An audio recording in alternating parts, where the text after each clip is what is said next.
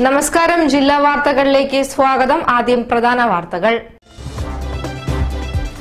വെള്ളയിൽ ആവിക്കൽ തോട് ശുചിമുറി പ്ലാന്റിനെതിരെയുള്ള പ്രദേശവാസികളുടെ പ്രതിഷേധം സംഘർഷഭരിതം. പോലീസും സമരക്കാരും ഏറ്റുമുട്ടി.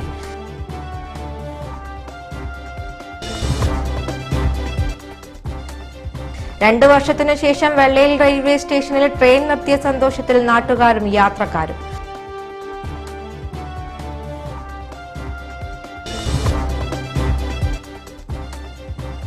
അപൂർവ വാർത്താ ചിത്രങ്ങളുടെ പ്രദർശനത്തിന് ആർട്ട് ഗ്യാലറിയിൽ തുടക്കം.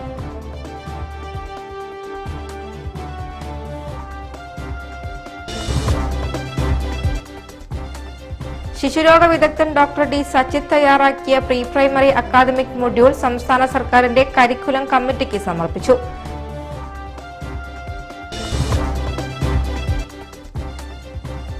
അസിസ്റ്റന്റ് സബ് ഇൻസ്പെക്ടർ സാജൻ പുതിയോട്ടിലിന്റെ അച്ഛനാണ് എന്റെ പോലീസ് എന്ന കവിതാ സമാഹാരം പുറത്തിറക്കി.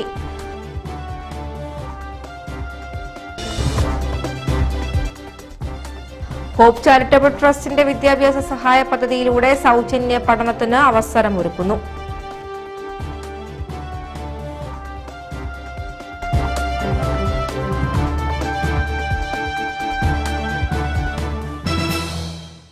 ഞാൻ അരുണിമ വിജയൻ വാർത്തകളുടെ വിശദാംശങ്ങളിലേക്ക്.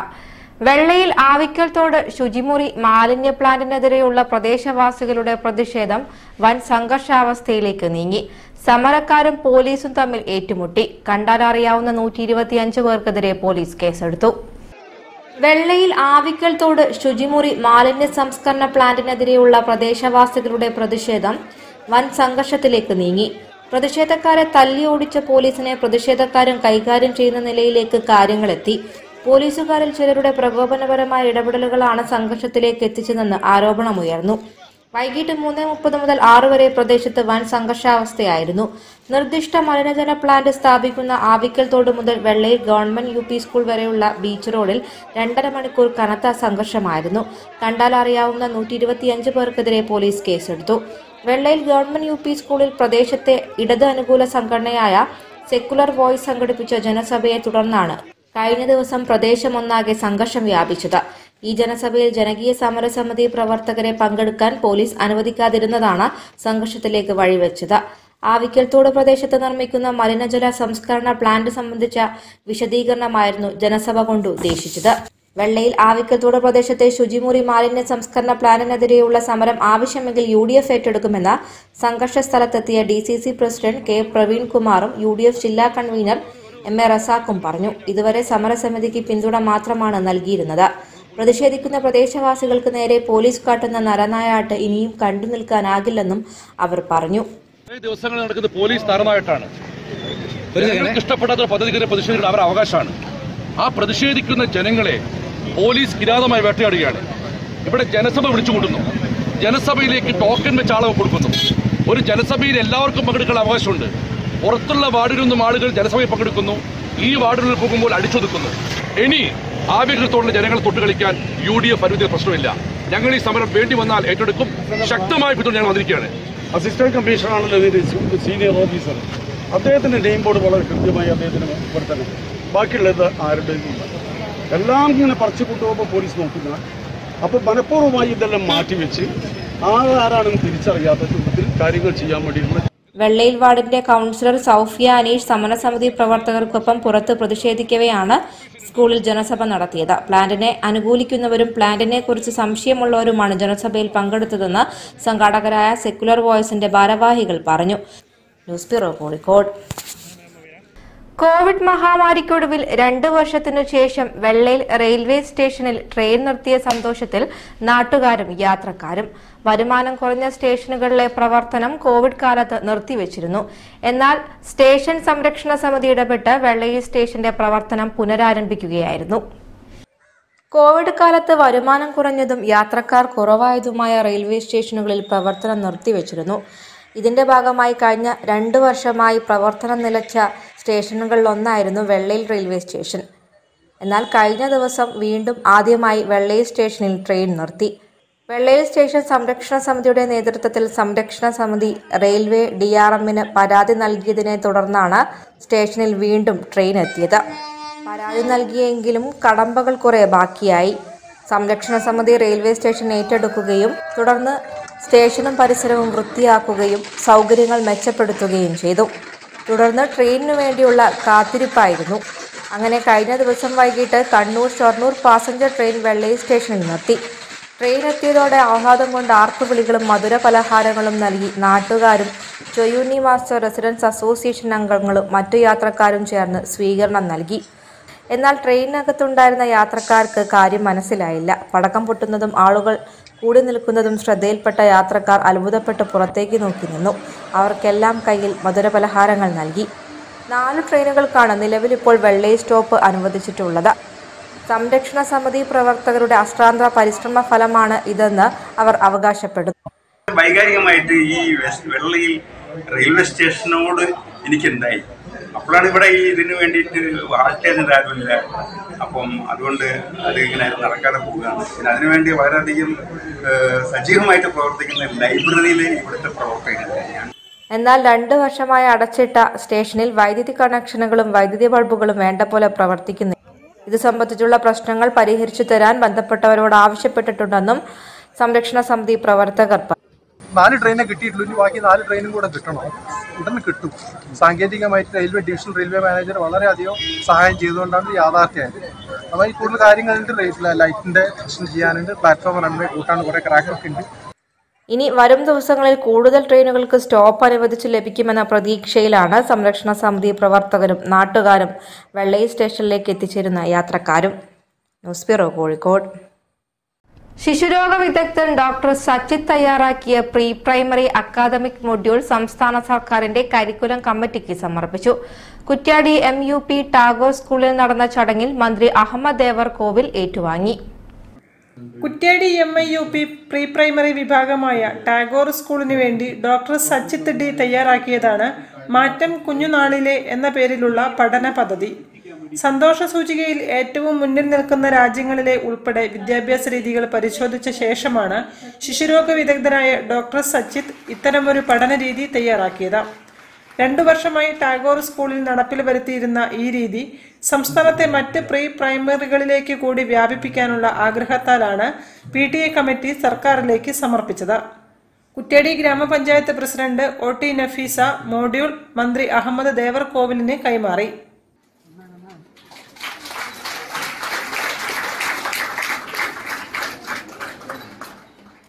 വിദ്യാഭ്യാസ മേഖലയിൽ കേരളത്തിന്റെ നേട്ടങ്ങൾ ശ്രദ്ധേയമാണെന്നും പ്രാദേശിക തലങ്ങളിൽ നടക്കുന്ന ഇത്തരം പ്രവർത്തനങ്ങൾ പരമാവധി വ്യാപിപ്പിക്കുന്നതിൽ സർക്കാരിന് സന്തോഷമാണുള്ളതെന്നും മന്ത്രി പറഞ്ഞു.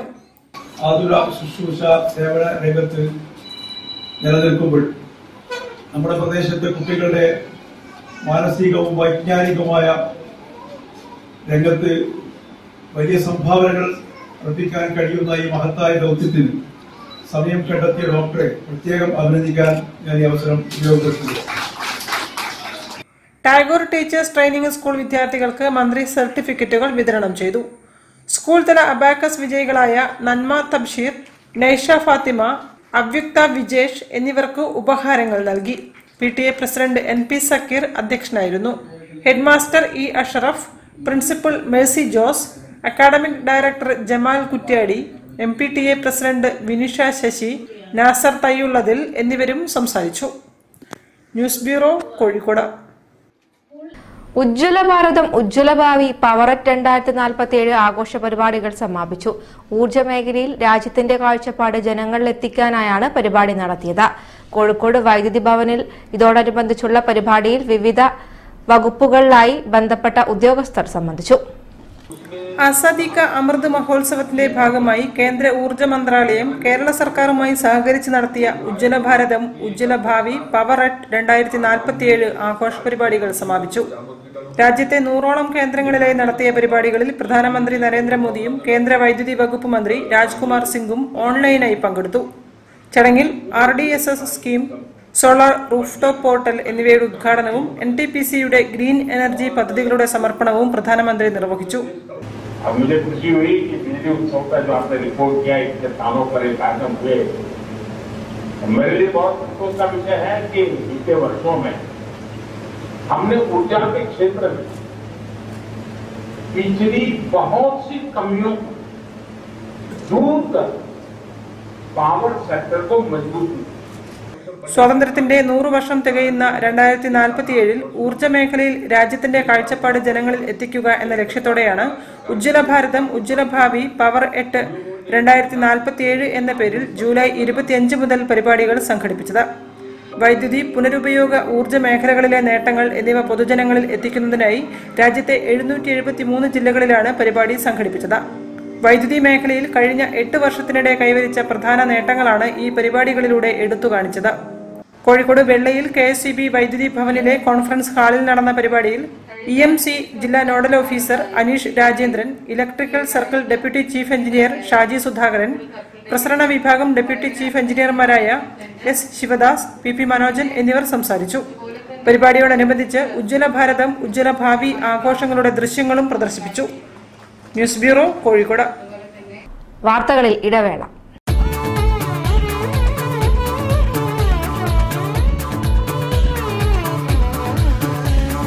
Darling, darling, മിന്നും സുന്ദരി മനം മയക്കും രാജകുമാരി Darling, darling, darling, മിന്നും സുന്ദരി മനം മയക്കും On her big day, she decides how it's going to be Get ready to make way for the brides of India. with Malabar Golden Lab. വാർത്തകൾ തുടരുന്നു Panniyankara police assistant sub inspector Sajan പുതിയോട്ടിലിന്റെ കവിതാ സമാഹാരം പുറത്തിറക്കി അച്ഛനാണന്റെ police എന്ന കവിതാ സമാഹാരം കവിയും ഗാനരചയിതാവുമായ P K Gopi പ്രകാശനം ചെയ്തു കോഴിക്കോട് സ്വദേശിയും പന്നിയങ്കര പോലീസ് സ്റ്റേഷനിലെ അസിസ്റ്റന്റ് സബ് ഇൻസ്പെക്ടറുമായ സാജൻ പുതിയോട്ടിലിന്റെ കവിതാ സമാഹാരം കവിയും ഗാനരചയിതാവുമായ പി കെ ഗോപി ഭദ്രദീപം കൊളുത്തി പ്രകാശനം ചെയ്തു. ഫറൂഖ് അസിസ്റ്റന്റ് പോലീസ് കമ്മീഷണറും തിരക്കഥാകൃത്തും സംവിധായകനുമായ എ എം സിദ്ദിഖ് പുസ്തകം ഏറ്റുവാങ്ങി.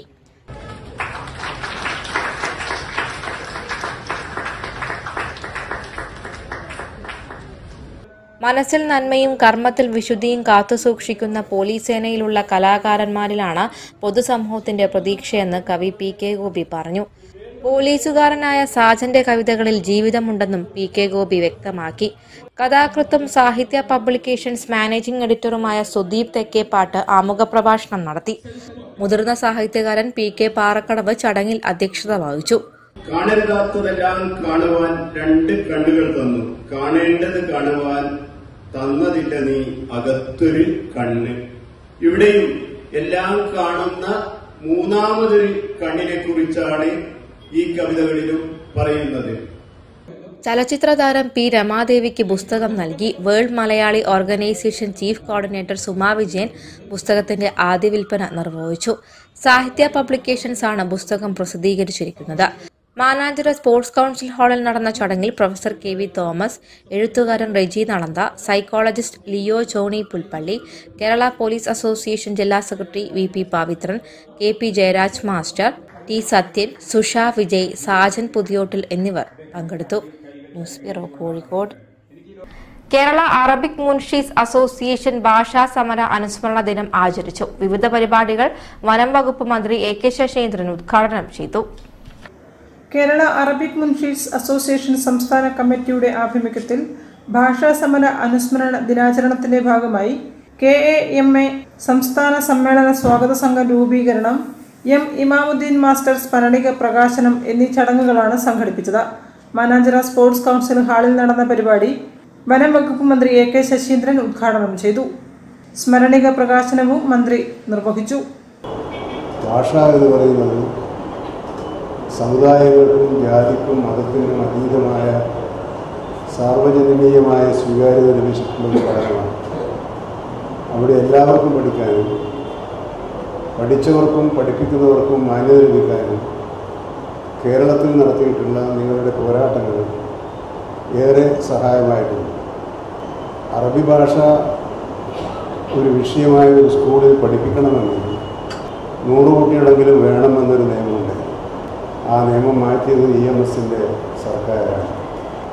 ഇപ്പോഴത്തെ വിദ്യാഭ്യാസ മന്ത്രി അറബി ഭാഷയോടുള്ള അദ്ദേഹത്തിന്റെ ആഭിമുഖ്യവും താല്പര്യവും പ്രകടിപ്പിച്ചിട്ടുണ്ട്. അതിന് കാരണം ഈ ഇടതുപക്ഷ രാഷ്ട്രീയം വെച്ച് പുലർത്തുന്ന സാർവത്രികമായ സ്വഭാവ വൈശിഷ്ട്യത്തിന്റെ ഒരു ഉദാഹരണമാണ്. സമന്മാരായി കാണാനും സ്നേഹത്തിന്റെയും സൗഹാർദ്ദത്തിന്റെയും പുതുതായ ഒരു അന്തരീക്ഷം സൃഷ്ടിച്ചുകൊണ്ട് മനുഷ്യർക്ക് വേണ്ടി കൈകോർക്കുന്ന ഒരു സമീപനത്തിന്റെ ഭാഗമായിട്ടാണ് അറബി ഭാഷയോടുള്ള നിലപാട് ഇടതുപക്ഷ ജനാധിപത്യ മുന്നണി സ്വീകരിച്ചു വരുന്നത്. K A M A treasurer P P Firoz അധ്യക്ഷനായിരുന്നു. ഓർഗനൈസിംഗ് സെക്രട്ടറി സിറാജ് മദനി സ്മരണിക പരിചയപ്പെടുത്തി. Sheershad S V K A M A general secretary M Thamimuddin Muneer Kilimanoor Anvar Pallikkal എന്നിവരും സംസാരിച്ചു. News bureau Kozhikode. Hope charitable ട്രസ്റ്റിന്റെ വിദ്യാഭ്യാസ സഹായ പദ്ധതിയായ വിദ്യാജ്യോതിയിലൂടെ സൗജന്യ പഠനത്തിന് അവസരമൊരുക്കുന്നു.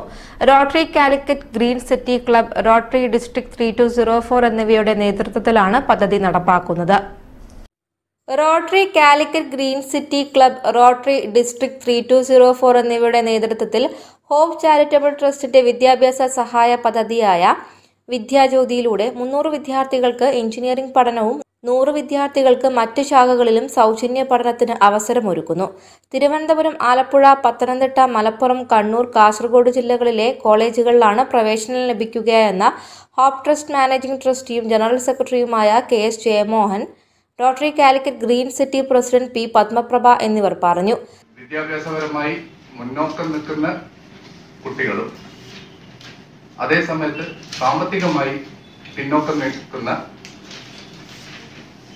വിദ്യാർത്ഥികൾക്ക് ഹോപ്പിന്റെ പിലാത്തറുള്ള ഹോപ്പ് ചാരിറ്റബിൾ ട്രസ്റ്റിന്റെ സഹകരണത്തോടുകൂടി നാനൂറോളം കുട്ടികൾക്ക് മുന്നൂറ് കുട്ടികൾക്ക് എഞ്ചിനീയറിംഗ് വിദ്യാഭ്യാസവും മറ്റ് ബ്രാഞ്ചുകളിലായിട്ട് M B A hotel management biomedical engineering എന്നീ ബ്രാഞ്ചുകളൊക്കെ ആയിട്ട് മറ്റൊരു നൂറ് കുട്ടികൾക്കും കൂടെ അങ്ങനെ നാനൂറ് കുട്ടികൾക്കുള്ള സൗജന്യമായിട്ടുള്ള വിദ്യാഭ്യാസ പദ്ധതിയാണ്.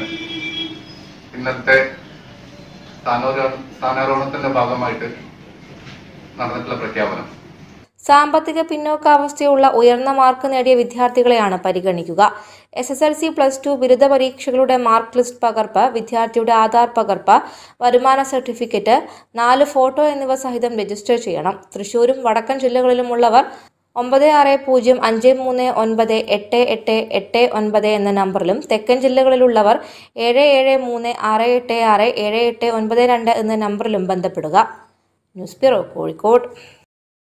കൂടുതൽ വാർത്തകൾ ഇടവേളയ്ക്ക് ശേഷം.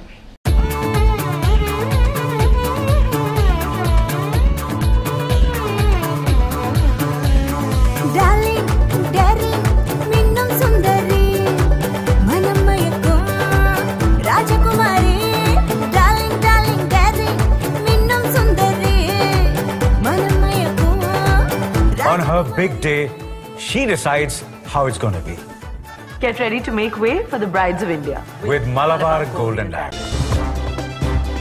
വാർത്തകൾ തുടരുന്നു മുതിർന്ന മാധ്യമ ഫോട്ടോഗ്രാഫർമാർ ഒപ്പിയെടുത്ത അപൂർവ ദൃശ്യങ്ങളുടെ പ്രദർശനത്തിന് കോഴിക്കോട് ആർട്ട് ഗ്യാലറി വേദിയായി സീനിയർ ജേർണലിസ്റ്റ് ഫോറം സംസ്ഥാന സമ്മേളനത്തോടനുബന്ധിച്ച് നടത്തുന്ന ഫോട്ടോ പ്രദർശനം ആരംഭിച്ചു ചരിത്രത്തിന്റെ നാൾവഴികളിലെ അപൂർവ വാർത്താചിത്രങ്ങളുടെ പ്രദർശനം ലളിതകലാ അക്കാദമി ആർട്ട് ഗ്യാലറിയിൽ ആരംഭിച്ചു. സീനിയർ ജേർണലിസ്റ്റ് ഫോറം സംസ്ഥാന സമ്മേളനത്തോടനുബന്ധിച്ചാണ് ചൊവ്വാഴ്ച മുതൽ ലളിതകലാ അക്കാദമി ആർട്ട് ഗ്യാലറിയിൽ ഫോട്ടോഗ്രാഫി പ്രദർശനം നടത്തുന്നത്. നാൽപ്പത്തിയൊൻപത് മാധ്യമ ഫോട്ടോഗ്രാഫർമാരുടെ ഫോട്ടോകൾ പ്രദർശനത്തിലുണ്ട്. രാഷ്ട്രീയത്തിൽ ഇരുചേരികളിൽ നിൽക്കുമ്പോഴും ഊഷ്മളമായ വ്യക്തിബന്ധങ്ങൾ കാത്തുസൂക്ഷിക്കുന്ന നേതാക്കൾ നാടിനെ വിറപ്പിച്ച ഭൂകമ്പം വെള്ളം നിറയ്ക്കാത്ത ഇടുക്കി ഡാം ബോട്ടോടിക്കുന്ന മുൻ പ്രധാനമന്ത്രി ഇന്ദിരാഗാന്ധി കടലിൽ കുളിക്കുന്ന മുൻ പ്രധാനമന്ത്രി മൊറാർജി ദേശായി മുഖ്യമന്ത്രിയായി ചുമതലയേൽക്കാൻ പുറപ്പെടുന്ന ഇ എം എസ് തുടങ്ങി ഇന്നലകളിലെ ഒളിമങ്ങാത്ത ചിത്രങ്ങൾ കാണാൻ അവസരമൊരുക്കുകയാണ് പ്രദർശനം. പ്രദർശനം Kerala media academy chairman R S Babu ഉദ്ഘാടനം ചെയ്തു. News bureau Kozhikode.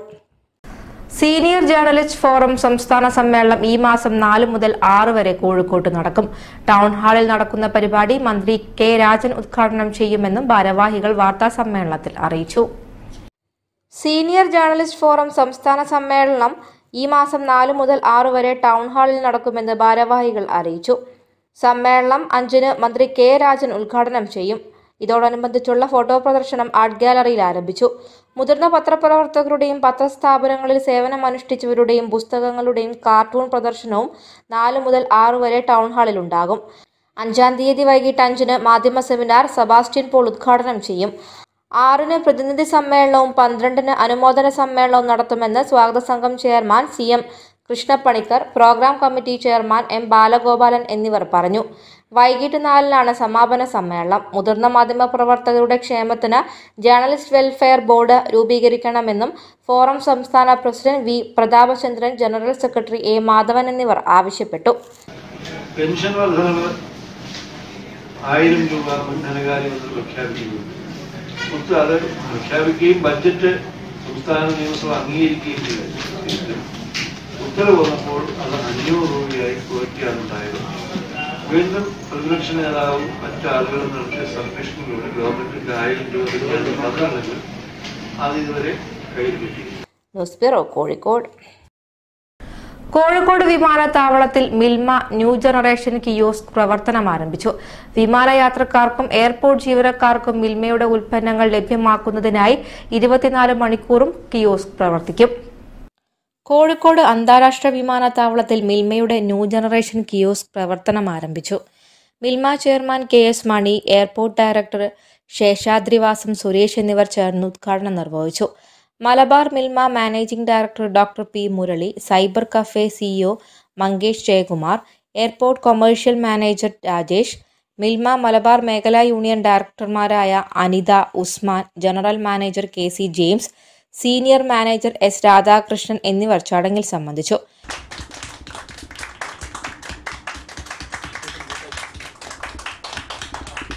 വിമാനയാത്രക്കാർക്കും എയർപോർട്ട് ജീവനക്കാർക്കും മിൽമയുടെ ഉൽപ്പന്നങ്ങൾ ലഭ്യമാക്കുന്നതിനായി കിയോസ്ക് ഇരുപത്തിനാല് മണിക്കൂറും പ്രവർത്തിക്കും. News bureau Kozhikode.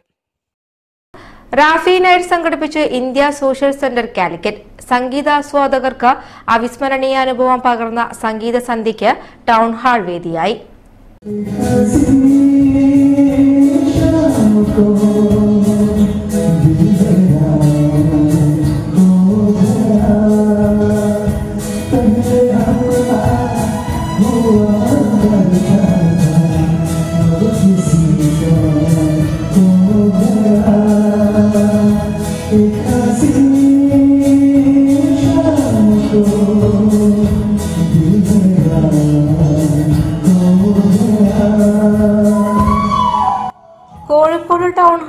റാഫി സംഗീതം പെയ്തിറങ്ങി.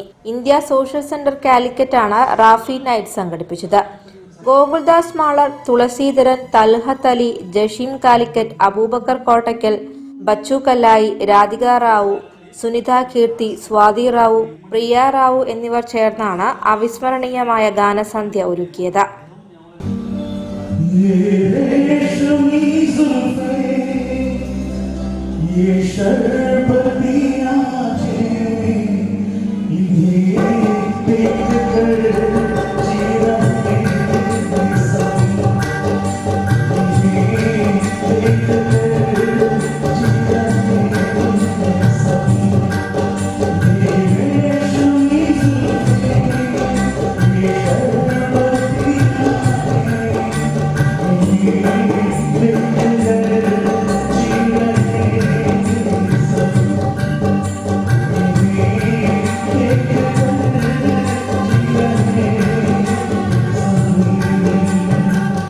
ഡോക്ടർ ഫസൽ ഗഫൂർ പരിപാടി ഉദ്ഘാടനം ചെയ്തു. Calicut city service corporative bank chairman G Narayanankutty മുഖ്യാതിഥിയായി പങ്കെടുത്തു. A R Sheikh K T P Unnikrishnan തുടങ്ങിയവർ പങ്കെടുത്തു. News bureau Kozhikode. കൂടുതൽ വാർത്തകൾക്കും വിശേഷങ്ങൾക്കും കോഴിക്കോട് ജില്ലാ വാർത്തകൾ എന്ന യൂട്യൂബ് ചാനൽ സന്ദർശിക്കുക. പ്രധാന വാർത്തകൾ ഒരിക്കൽ കൂടി. വെള്ളയിൽ ആവിക്കൽ തോട് ശുചിമുറി പ്ലാന്റിനെതിരെയുള്ള പ്രദേശവാസികളുടെ പ്രതിഷേധം സംഘർഷഭരിതം. പോലീസും സമരക്കാരും ഏറ്റുമുട്ടി.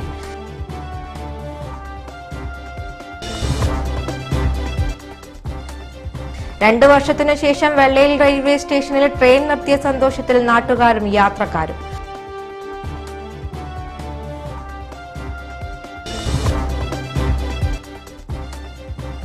അപൂർവ വാർത്താ ചിത്രങ്ങളുടെ പ്രദർശനത്തിന് ആർട്ട് ഗ്യാലറിയിൽ തുടക്കം.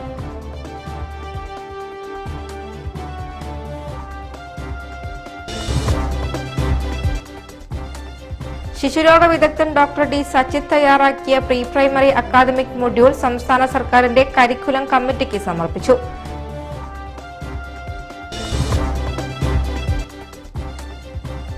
അസിസ്റ്റന്റ് സബ് ഇൻസ്പെക്ടർ സാജൻ പുതിയോട്ടിലിന്റെ അച്ഛനാണ് എന്റെ പോലീസ് എന്ന കവിതാ സമാഹാരം പുറത്തിറക്കി.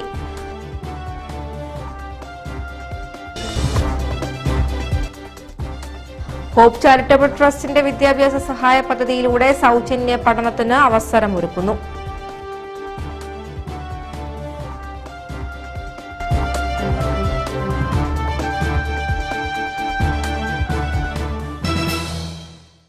ഇതോടെ ഈ വാർത്താ ബുള്ളറ്റിൻ പൂർണമാകുന്നു. നമസ്കാരം.